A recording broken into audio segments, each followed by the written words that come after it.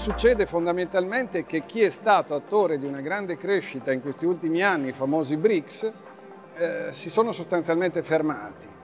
Eh, il Brasile, la Russia, eh, la Cina in primo luogo ed è chiaro che ogni piccola variazione sul mercato cinese diventa una grande variazione sul numero della produzione mondiale. Oramai la Cina ha raggiunto il 50% della produzione mondiale, si ragiona fra i 5 e i 6 miliardi di metri quadrati prodotti, quindi un leader assoluto, leader che è diventato assoluto e anche questo lo emerge dallo studio da parecchi anni questo ultimamente, proprio anche nell'export.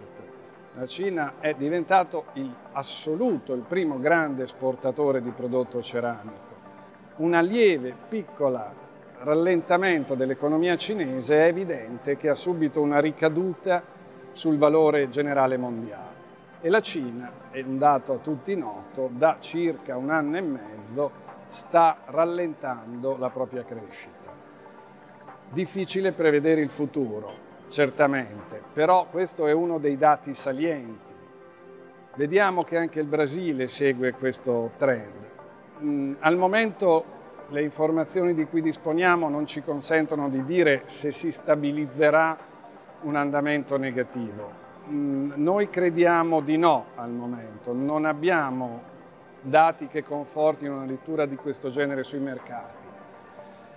Abbiamo un momento di stanca, un momento di riflessione che peraltro in tutti questi paesi ha delle giustificazioni di scenario abbastanza differenti, quindi è difficile poter dire che le ragioni che stanno rallentando la Cina siano le stesse che stanno rallentando il Brasile. Sono ragioni diverse e contesti molto diversi. L'economia mondiale in larga parte è in un momento di stasi.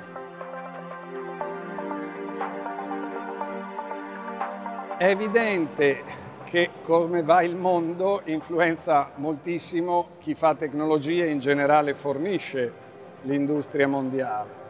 Produttori italiani hanno nell'80% del loro fatturato in esportazione è evidente che eh, anche la torta di cui si compongono eh, i mercati internazionali è una torta con eh, settori molto simili tra loro. Questo da un lato indica il grande equilibrio con cui è organizzata l'industria italiana, che è riuscita in una torta che io definisco da manuale a diluire il rischio mercati in modo ottimale. È evidente che questo ci aiuta e ci ha consentito, per esempio nel 2015, di portare a casa un fatturato settoriale con un segno fortemente positivo, attorno al più 10%. Nel 2016 noi temiamo che in qualche maniera questo rallentamento su molti mercati importanti non potrà non riflettersi sul business delle nostre aziende.